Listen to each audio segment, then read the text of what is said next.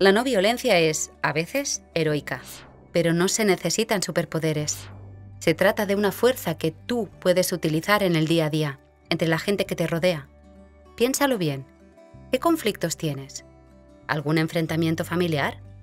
Alvin Strait, un norteamericano de 73 años, después de 10 años sin hablar con su hermano por disputas familiares, se enteró de que estaba grave de salud y al no tener carné de conducir, quiso ir a hablar con él, recorriendo durante seis semanas los 466 kilómetros hasta Wisconsin en una cortadora de césped.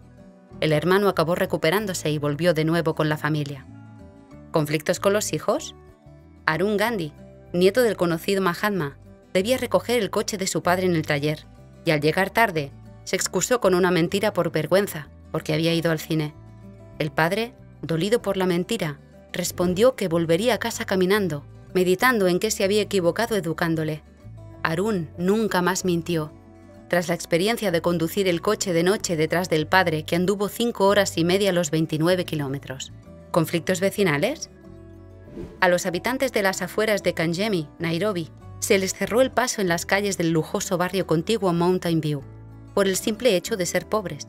Pero un grupo de mujeres protestó desnudándose ante los guardas, avergonzándolos por cooperar con tal discriminación, hasta que finalmente reabrieron el paso. Hay muchos ejemplos. Aprende más. Inventa tú misma otro final a los conflictos. Sé creativa para buscar terceras vías. ¿Qué podría tocar el corazón del otro? ¿Qué cambiaría la realidad? Tú también puedes mejorar el futuro que te rodea. Mueve la no violencia.